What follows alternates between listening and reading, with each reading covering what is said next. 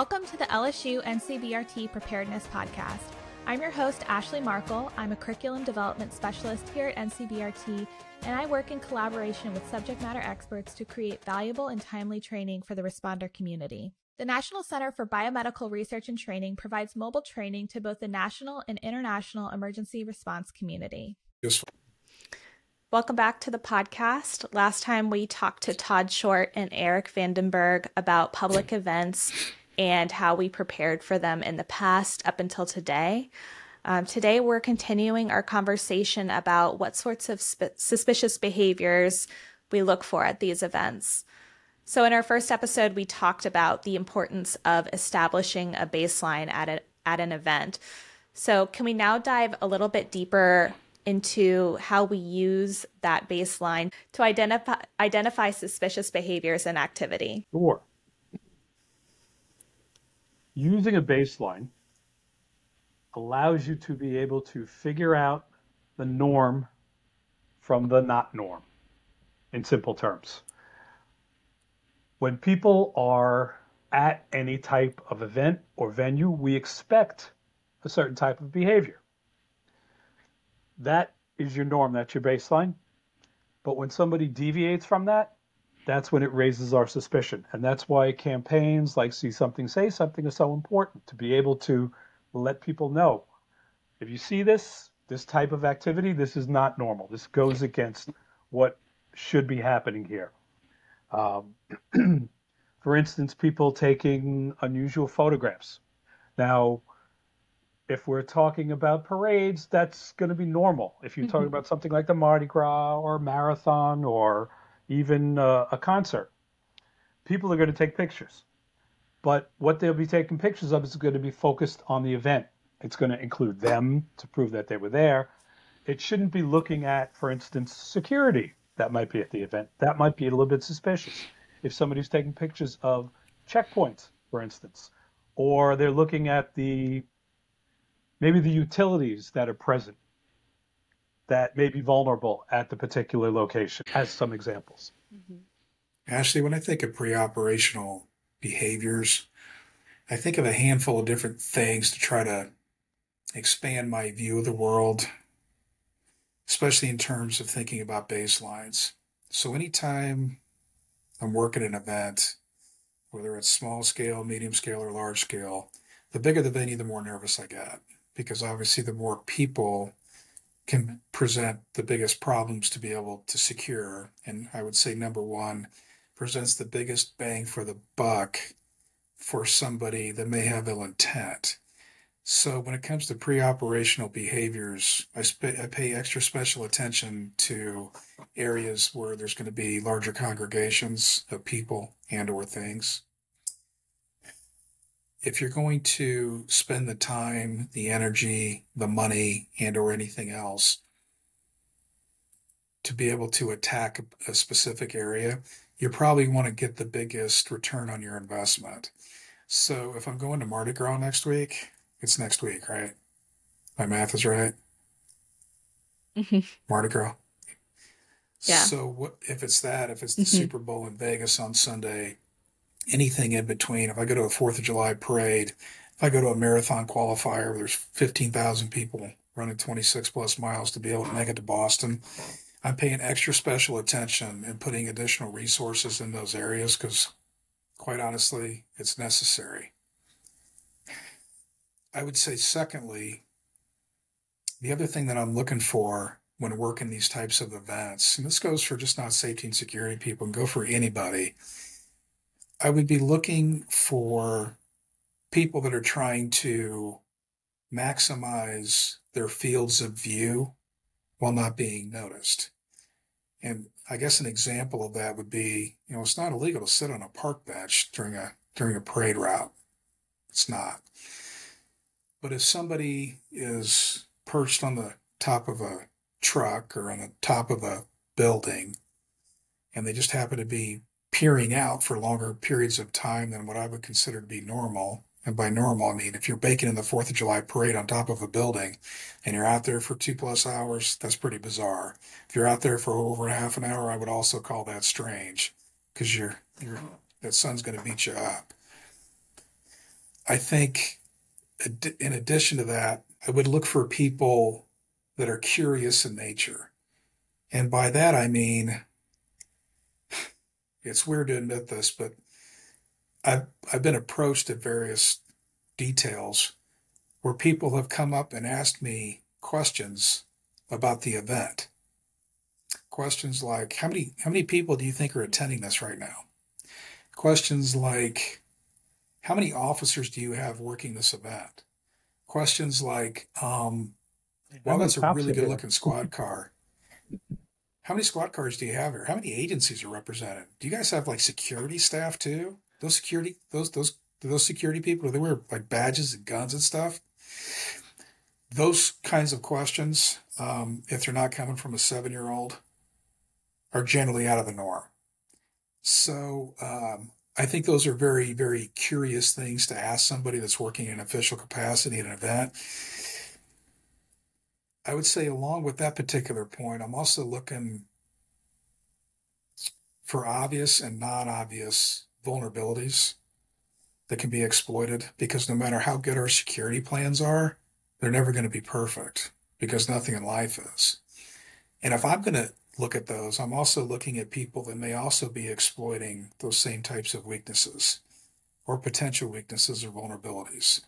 People that, for whatever reason, are trying to get a door open on the side of a building that may be a half or a block and a half away from an event, especially if it's on a weekend and those buildings are closed, is abnormal behavior. And those those are things that I would consider pre-operational that makes the hair on the back of my neck stand up. And actually the, the question that I'm usually asked is before you launch into action, based upon what you're telling me, what's your final trigger point? What's the thing that really makes you go? And my response to that is it's subjective and it's going to be different for everybody. But mine is when the hair on the back of my neck stands up and the hair on my arm stands up, the goosebumps are, are encompassing my body, then I usually take an action because if I don't, mm-hmm. then I'm probably ignoring my instincts. And if I'm doing that, then I'm probably putting people in danger. It's at least worth an investigative stop. It's at least worth a follow up conversation to see if we can dig a little more.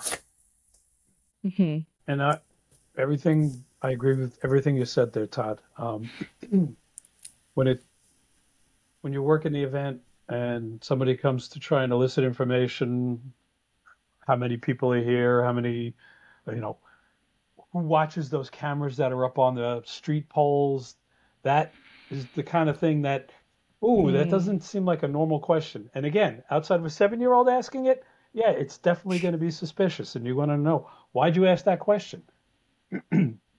Looking at people who try to get into areas that are restricted, where it's authorized personnel mm-hmm. only. That is another thing you want to pay attention to when you're working these type of events. Typically, you're going to have pre-event security when you have something planned. So you're going to take a look at the area before you get there. Uh, you may send out a, a team to check to make sure that there are no suspicious devices left around, nothing where somebody could leave something. I know in New York City, what we do is during a lot of these major events that are planned, we might remove some of the garbage cans that are on the street. It mm doesn't mm-hmm. bode well for littering, but it takes away the opportunity of something placing into one of those receptacles to cause harm. Um, uh, I can tell you that when the president comes, whatever route he's going to take, they will solder down the manhole covers so somebody can't put something underneath the manhole cover. They will seal the uh, base of a street lamp, which usually has a door that you can access the wiring.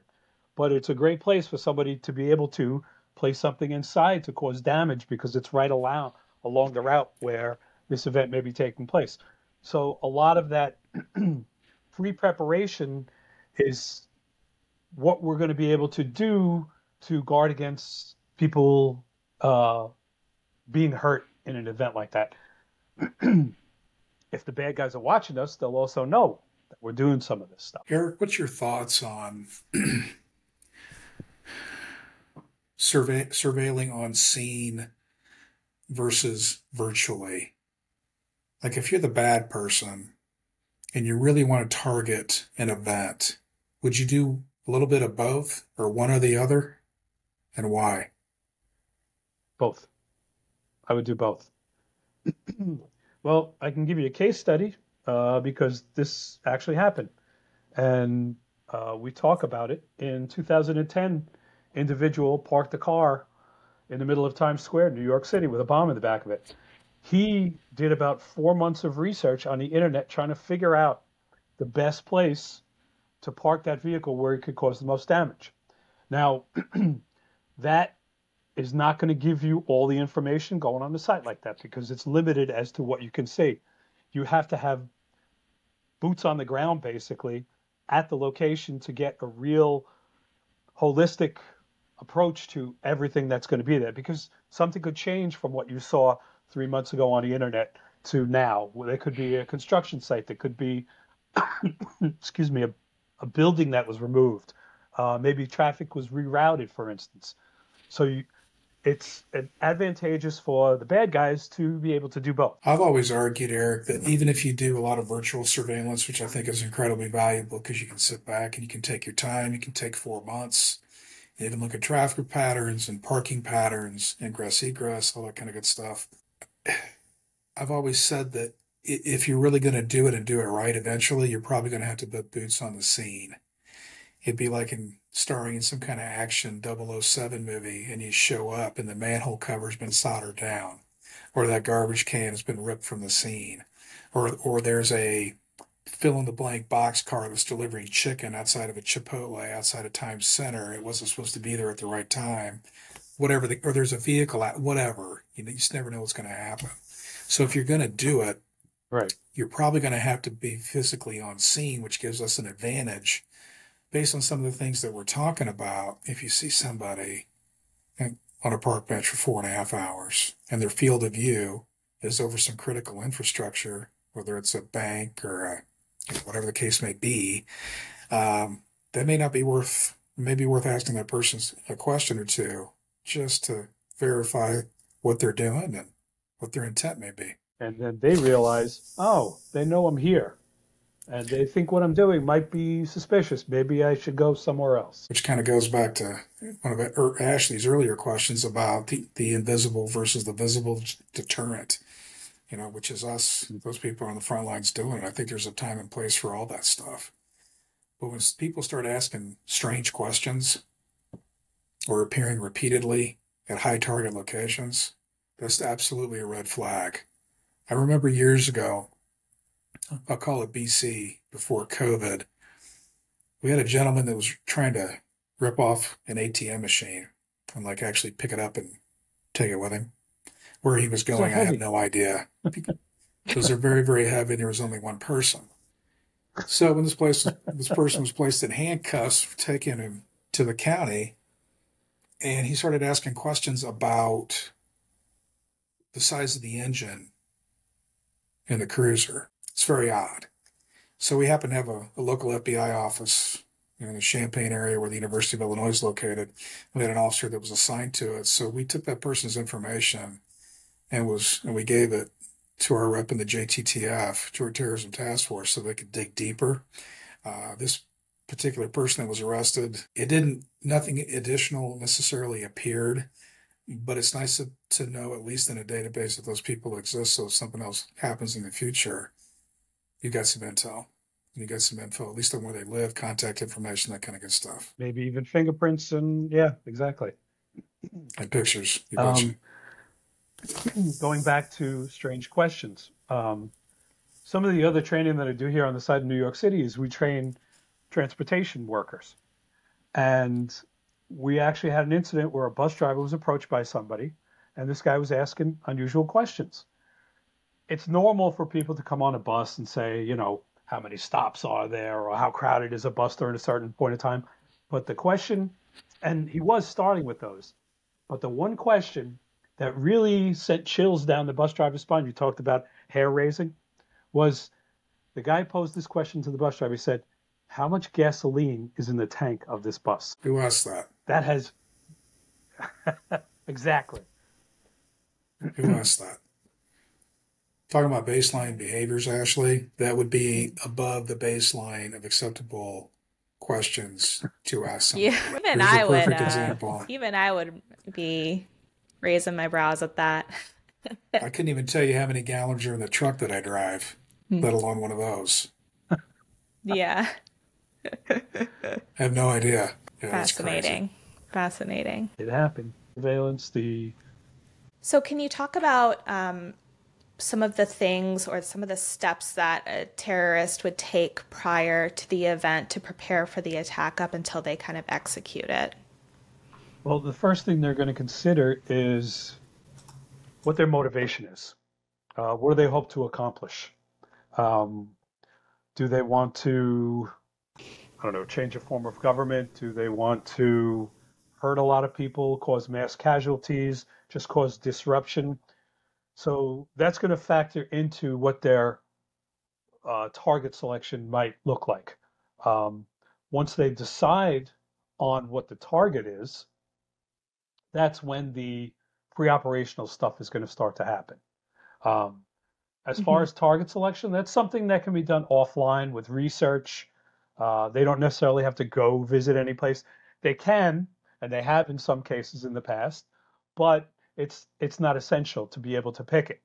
Uh, it's something that'll fit whatever their objective or goals are to achieve by doing this.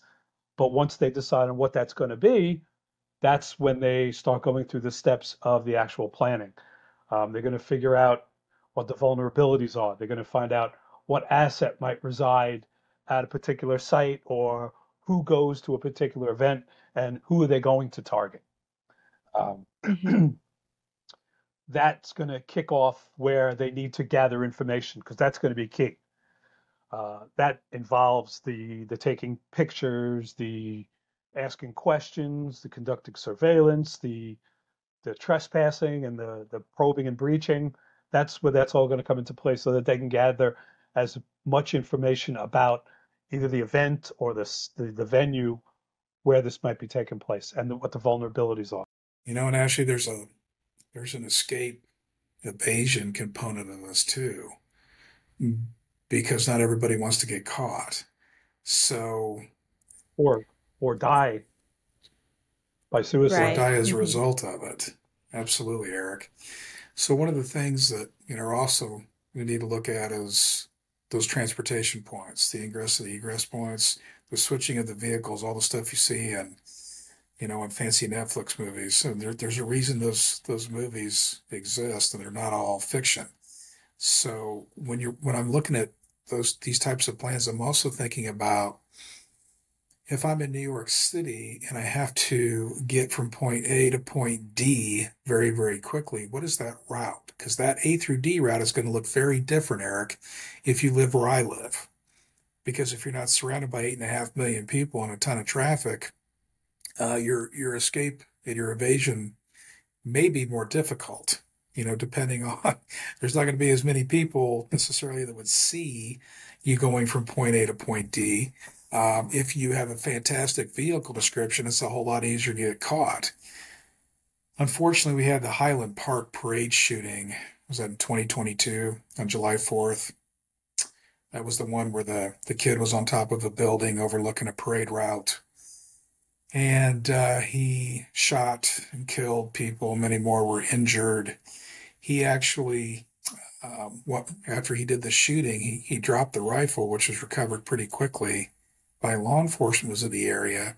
It was reported that he had a change of clothes that were a female orientation, so he would be able to disguise himself in a crowd and make him appear not quite so um, suspect with female clothing and then he hops in a car and he's when he was head towards Madison, Wisconsin, to potentially do the same thing. Apparently, he had a change of heart because he didn't make it to Madison. But a couple once they put that vehicle description out in a fairly rural area between northern Illinois and southern Wisconsin, there were some people that saw the suspect in the vehicle as described, and they were able to get the the cops involved, and that's how they apprehended him. Fortunately, without further incident. So that escape and the evasion clause, I think, is very important in their overall planning. You know, and I always think about media exploitation too. Eric brought it up in the beginning of this. If you're going to select a target, you're probably going to select a target that has some meaning for you for various reasons. You know, Eric's a New York guy. Certainly, September 11th is a long, layered story that we could talk about for months and months. But how many major incidents have occurred in this country where the bad person or the bad people that targeted a particular area didn't have some kind of a uh, an agenda, some kind of socio-political something or another that drove them to to select that target? And so, if you're done with your attack and you've got a body count, if you've got property destruction, if you've got uh, political upheaval, why would you want, want to take credit for that? And of course, as we know, just because you're the first one that goes on TikTok to announce that you're the one who did it doesn't mean you're necessarily the one that did it. But obviously, we get some breadcrumbs there to start trying to find the bad people, and that, that starts a, a larger discussion and certainly a more intensive investigation to be able to, to get where we need to be, which is apprehending the suspects. So it's a multi pronged, multi tiered process. Um, you know, in some ways, as, as horrible as the implementation of the act is, it doesn't end there. In some ways, that's just the beginning for so many more of us because if the active shooter's done in five to seven minutes, per federal statistics, we still got a lot of work to do when, when this whole thing is over because just because one attack has happened doesn't mean we're not going to have a second. One of the things that we preach in law enforcement from the first day in the academy is, you know, if you're if you're searching a building and you find a bad guy, what are you looking for? I'm looking for another bad person. If I find a bag of dope on somebody during a search, what am I looking for? I'm looking for another bag of dope. So the same thing applies. Just because one incident has happened, we've been fairly fortunate in the States where we haven't had coordinated complex attacks as much as we've had overseas. But like we said earlier in our discussion, what generally happens internationally can find a home here. I think about the Paris attacks in 2015, where you got multiple prongs hitting multiple locations at the same time basically dividing resources and making a mitigation response strategy very, very difficult. But those are the things that I think of, Eric, when it comes to pre op activities. It's just not necessarily the attack itself, while I'm certainly focused on that, but it's it's really what's happening, what what got me there, and then what direction do I have to to veer off in after the thing has occurred. You bring up a good point too, when you talk about some of these uh, complex coordinated attacks. Is what resources do you have to be able to address that type of uh, attack. Where I come from, obviously, we're the 800 pound gorilla in the room where we have many, many, many resources to be able to deal with, as opposed to smaller, maybe rural agencies don't have the the resources to be able to handle something like that. It makes a huge difference. I mean, you look at the average police department in the United States. What are you talking? Seven, seven and a half officers. You know, for a police department on a national average. Mm-hmm. There's only so many yeah, New normal. York cities. Yeah. There's only so many Chicago's and LA's and Houston's out there. And even if you go to those agencies now and you say, "Do you have all the resources and the money that you could ever want?" They're going to look at you and they're just, yeah. I mean, they're going to absolutely not. We're not even close to where we need to be. So you know that adds to the challenge yeah. of being able to deal with this because people are working longer hours. I think the stress, you know, is is higher than it's ever been. And I think all those things factor into fatigue, which factors into our response. And so I'll come back to saying, and if you get nothing else out of this podcast, vigilance is so, so important because you are very important. If you're doing this for a living, you are the line between what is happening and what could happen. And if your intent, which it should be, is to be proactive, why did you get into this job in the first place?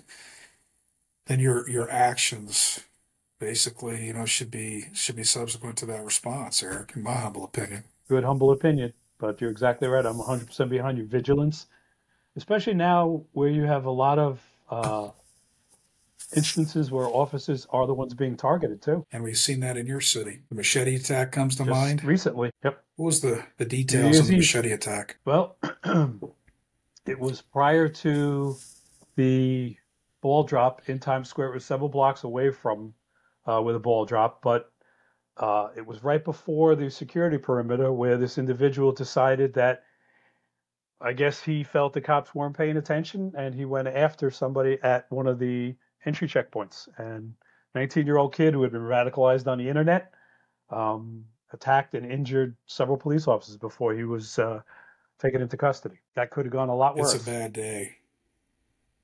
You know, when, when we talk about vigilance and taking action, you know, it's so important. I always preach you can't live your entire life in condition red. Like, to put that in perspective, Ashley, like red would be like, I'm on point all day long, and then I've got an orange, or I'm kind of in the middle, and then I've got a yellow or a green, where I'm just laissez faire. We all can't, whether you're whether you're in duty or not, you can't work an eight or ten or twelve hour, sixteen hour shift in condition red all the time because you, you it's too much. Mostly you're going to fizzle out. But I'll say mm-hmm. this, especially if you're suited up, going to cardiac arrest. You better you better be at a at an at an orange red because you got to be able to hop. And that when you're when you're out working these details, you don't have a choice. Your head's got to be able to swivel all the time. It can happen anywhere at any time. We've been hearing that since the first day of the academy. It's as true today as it was 150 years ago. But when it comes to executing the attack, very low green. I like to be, you know, like ready to pounce, Eric. You know, at a at a moment's notice. I like to save the energy in the Come green level so and then pounce. I got to save it for when I need it. Yeah, you're not wrong. No, believe that. me, I, I, um, uh, you know, I may not be a cop, but I, uh, I do have a, I have one child. Um, I'm a first time parent, and anytime I take her out, um, alone, I'm my my head is like on a swivel. I was like, I feel like I'm her bodyguard. Like I'm just. I feel like after working this job, that's kind of how I am now in public. But Ashley, when yeah. you do this for a living, and you're around people like us, it changes. It changes the um, your lens. It changes the way you see the world. It doesn't make you yes. a weirdo. And at the end of the day, you are her, his or her. What's your baby's name? Mm-hmm. Josie. Yes, hear me? Josie you're Josie's protector. You know, we strap Josie yeah. strap on mm-hmm. we strap on the uniform and go to work. We are the protectors of whoever you know we're around. You know, it, it's a shared effort. Talked about the see something, say something campaign mm-hmm. and how simple it is. I'm glad Eric brought it up because I I usually don't think to bring it up, even though it's so incredibly. It's just rudimentary. I think everybody understands that. How many tips do we get when things have been stopped as a result of, hey, this person's been parked outside this residence for the last like two and a half hours. Nobody's ever parked outside of this residence. Can you come over and check this out because this is this is wackadoodle. This doesn't make sense. That's why it's important for people to take pride in their neighborhood so that they people in the community realize what's happening. Um, going back to what we were talking about before, being conditioned to be vigilant I've been retired for quite some time, but today, even when I take a subway train, number one, I will not sit in a seat because I want to be ready to pounce or escape. Um, when a train pulls into a station, we were trained when I was a transit cop back in the 1980s. Um, we'd have to look out and scan the platform to see what's going on. I still do it today. I want to know who's getting on my train. Um, I can tell you when I go to sit in a restaurant, I never sit with my back to the door. I still want to see who's coming in the door of the restaurant. I'll sit in specific places hear, when I go to a movie theater. Eric, here's a funny story about a restaurant. So in May, I will have been married for 25 years. It's a long time to be married to anybody, Congrats. let alone me, right? So, um, well, that actually puts up with you. Yeah, she's she's so lucky, Eric. So um, we have a we have a restaurant. I was just waiting. I threw a couple ums in there to see if I could get some laughs. We had a uh, a restaurant that my family has historically gone to for anniversaries, birthdays, special events. And one of my wife's greatest frustrations with me is generally when we go to this restaurant, it's a Friday night maybe a Saturday night. People getting off work. There's a line forming out the door. There's there's 15 people, you know, in the in the whatever lobby waiting to got their name on the list trying to get in the restaurant. And in this particular hibachi restaurant, you know, imagine a restaurant with a got you know seven or eight hibachis, eight people to a hibachi.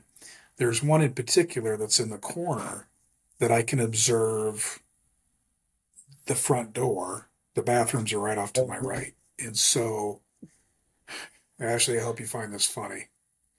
I will routinely, as a matter of practice, if we're waiting in line, allow you and your family to go before my family until that hibachi, the one that I want, where I got a nice hostile surveillance field of view here, Eric, is is available. So you know, can tack an extra hour onto dinner. And so it drives my wife absolutely insane. My kids Oh are my pacing. it's just not good. So this is exactly what happened. I'm not making this up. I was not here this particular night, hmm. but I can empirically document this this case study. One particular night at 5:15, one of the kids comes in, looks at the hostess, takes the gun out and says, "Give me all your money." What do you think the hostess does? Poor thing, right? I don't know what to do. Looks, looks well, to you in in this the back of particular hibachi. hibachi, Yeah. the nice thing about hibachi restaurants is there's generally a couple of sushi chefs that are behind a glass cased enclosure with the knives and doing their stuff. Big so uh, we knives. generally say in the business, yeah, big knives. Mhm. Generally, we say don't take a knife to a gunfight. Actually, it's not generally a good idea. In this particular case, these two wonderful human beings, like Batman and Robin, like Starsky and Hutch, use their superhuman 22 year old strength, yourself. leap over the little glass enclosure thing, and take the knife to the gunfight. Fortunately, it was a pellet gun. It wasn't a real gun. It looked exactly like a real gun. The fight ensues through the little area where everybody's waiting to eat. It spills out into the parking lot. Somebody calls 911 because they saw something, so they said something. So here comes the cavalry, multiple police Mhm. departments because we work in a Twin City area. Everybody shows up. We were able to put handcuffs on a on a person that does definitely deserve to be in jail. So when that story hit our local news, Yeah. I instinctively looked at my wife and I said, "That's why I do what I do." Because you just never know. When somebody comes into a restaurant, they're not going to rob the bathrooms, which are off to my right. They're going to rob the front of the store, which is where the cash register is. So, to put this in the perspective of Mhm. what we're talking about here, Ashley, if you're going to select a place, good target Mhm. selection because it's a Friday night. They got money. Everybody's lined up at the door. It's a good night. To, Monday it- night's probably not so good. Had this person probably perused this particular Yeah. area to see when the mo? Yeah, they did. When they got there, was he scared to implement the attack? No, he was not. His escape plan was flawed, and his escape plan his escape plan was flawed because of the sushi. Pe- don't don't don't rob a place with a bunch of knives. I mean, it's tough, right? You may not be able to get it. And fortunately for us, I mean, the- in the- hibachi, they have people that are good with throwing up the knives and They're- they're stuff. doing the things. They're flipping the broccoli. I got the Yeah, volcano. I think Meat cleavers, yeah. they're very precise. right? So whether it's Yeah. small scale, medium scale, or large scale, I think it's fascinating to go to to know what has to go through somebody's mind before they go and do something like this because this is a game-changing experience. Whether this event is going to be successful or unsuccessful for this person, it's going to alter the course of their life forever. Because if it's successful, maybe they get away for a while, but they're going to be hunted forever. And if it's not successful, they're going to spend the rest of their life incarcerated, which does not sound like a good idea to me. But anyway, little uh, little restaurant Sure. humor for you. Uh, so that's all about all we have for today. Um, next time, we'll finish up this series with a discussion about creating and executing a plan. Thank you so much for joining us for this week, and we'll see you next week. If you have any questions or topic suggestions for future episodes, please send us an email at podcast at ncbrt.lsu.edu. Make sure you subscribe to the LSU NCBRT Preparedness Podcast wherever you listen to podcasts, and we'll see you again next time.